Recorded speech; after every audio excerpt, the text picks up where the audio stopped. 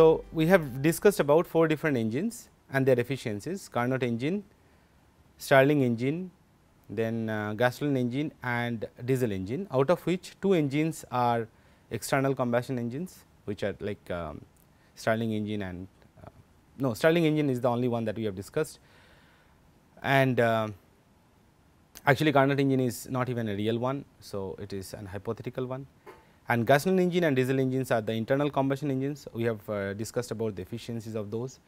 However, there can be many other possible engines or possible uh, you know cycle thermodynamic cycles that we can construct and calculate their efficiencies. But the important thing is that uh, the Carnot engine which is a hypothetical one, we can show that that no heat engine operating between two given thermal reservoirs, reservoirs means basically having a fixed temperature can be more efficient than the Carnot engine operating between the same two reservoirs.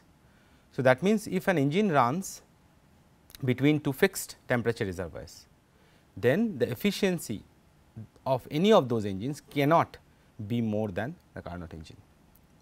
So, that is what we are going to discuss today. So, let us take about, so you know that all real engines are irreversible engines, right. So, let us take an example of an irreversible engine and an example of a Carnot engine.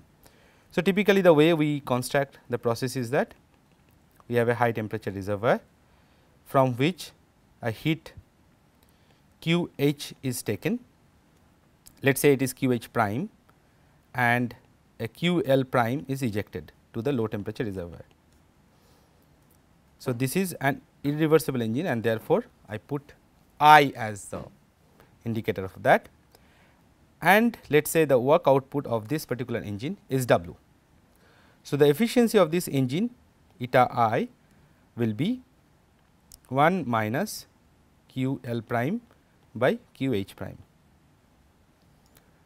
As I said uh, in all these cases we are just taking the modulus rather than the sign. So, it will automatically come to be that.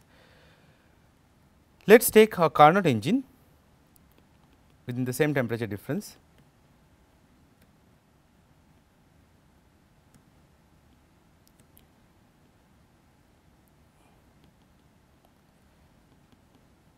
and let us call it E we, which we have been defining as E.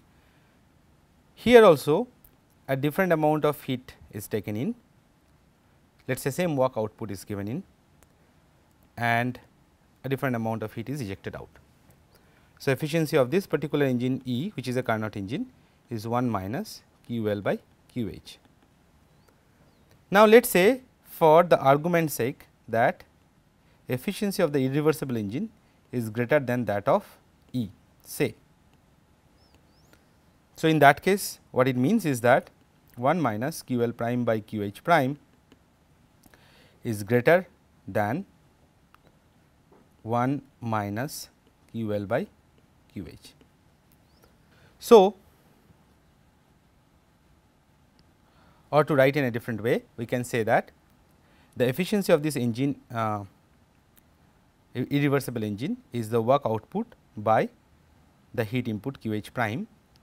Let us say it is greater than that of the Carnot engine. So, automatically we can see. So, remember that uh, we have adjusted the heat input and output in such a way that the work is same. Okay. So, we can always do that. We have kept the work same, but efficiency is different. So, now efficiency I have written in a simpler form W is the work output which is of course q h prime minus q l prime and the heat inputs are different. Now, once I put it like that you can clearly see that here the q h prime is since it is greater q h prime should be smaller than q h if the efficiency of the irreversible engine is higher than that of the Carnot engine. Okay. Now, let us see that if that is the case what is going to happen. Now, let us combine the irreversible engine and Carnot engine in such a way that the irreversible engine should drive the Carnot engine. That means, the work that we are going to get out of this irreversible engine should be uh, helping the opposite of the engine. Okay. So, we are going to put this particular engine in reverse and this is in the forward direction. Now, let us do that.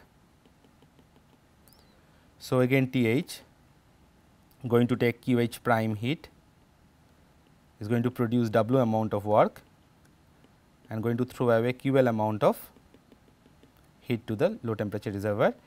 This W amount of work now is going to go into the Carnot engine which is kept in reverse. So, call it R. Now, exactly opposite of this thing will happen here which means that Q h will go back to the high temperature and Q L is going to be taken in from the low temperature. Just the opposite when you when you put so whenever you want to put an engine in reverse first construct the engine and then just reverse it. So exactly the signs will be reversed. So here like Q h is positive, W will be negative and then Q L is negative. Here Q L is positive, W is positive and Q h is negative. Okay. The arrows also indicate.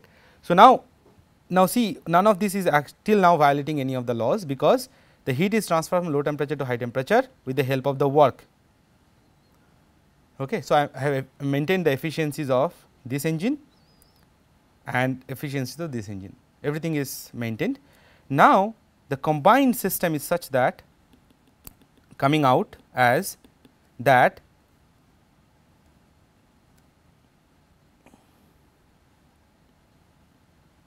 So, Q L prime is getting thrown away and Q L is taken in. So, Q L minus Q L prime heat is taken in from the low temperature and without be work being done Q h minus Q h prime is thrown in right. Now, we know that from this construction of the engine we know that q h prime minus q l prime is equal to w. We know from this engine is that q h minus q l is w. Equating them together we get we get q h min, uh, q h prime minus q l prime is equal to q h minus q l and therefore, q h minus q h prime is equal to q l minus q l prime. So, which means that I can call it q and this also will be q they are equal which means that the heat is taken in from low temperature reservoir and thrown into the high temperature. See sign is very important because if it turns out that heat is flowing from high temperature to low temperature reservoir then there is no violation of the second law of thermodynamics. So, it is important that this is a positive quantity that is taken in from the low temperature and this is a negative quantity that is thrown into the high temperature and that is what is happening because we know that uh, the way we have done this that this is a positive quantity right because we have seen that QH you look at this one now. So, QH is larger than QH prime so, therefore, a positive amount of heat is thrown into the high temperature reservoir. So, now this is in violation of Clausius second law theorem right. Clausius statement of so this is a violation of Clausius statement of second law. Okay. Which means that our initial argument that a irreversible engine can be higher than a reversible engine cannot be true, because it would have if it were true then it would have violated the second law of thermodynamics. So, that means no irreversible engine can have higher efficiency than a, a reversible Carnot engine. Now, question is that can one reversible engine be better than other reversible engine? Now, we are going to say that. So, corollary to this earlier argument is that all reversible engines working between two temperature reservoirs have the same efficiency. Now, how do we arrive at that? So, remember our construction was like this that we have a high temperature reservoir from which an engine was taking in heat and throwing away heat. And with that we have added an engine in reverse which took the heat from low temperature and threw into the high temperature. Okay. Now, we said that let us say in this particular case now we have both of them as reversible engine. Let us call it R 1 and let us call it R 2. Of course, R 2 is added in the opposite direction. Okay. So, so here R 1 is driving R 2 just like the, the way we have constructed it before.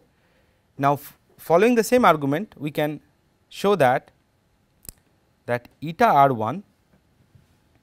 So, we have what we have gathered from last uh, example that eta i cannot be cannot be greater than the reversible one which means it will be either less or equal to the reversible one the one on the right hand side. Similarly, following the same argument if we put it that way we can show that that eta r 1 cannot be greater than the r 2 for the same reason that an, uh, an irreversible engine was not being able to drive that. So, it cannot R 1 cannot be greater than R 2. Now, let us switch the places of R 1 and R 2. So, this left hand side becomes R 2 which will drive now R 1 and we can because there is R 1 and R 2 arbitrary eta R 2 cannot be greater than eta R 1. Now, you see when you combine both of them that there is only one possibility that exists that eta R 1 is equal to eta R 2, which means that all reversible engines will have the same efficiency. If it did not be the case, then let us say if one of them is less efficient, what will happen is that if one of them is less efficient, we are going to put it on the right hand side and try to drive a reversible engine, which you know will actually violate. So, uh, so now we see that the all reversible engines working between two uh, temperature reservoirs have the same efficiency. So, that is very important efficiency when, when you are talking about we are only talking about the engines which have same fixed to temperature from which it is uh, taking in the heat and throwing away the heat. However, in case of diesel and uh, gasoline engine we have seen that that is not the case. For diesel engine we had all 4 different temperatures and in the gasoline engine also we had different temperatures.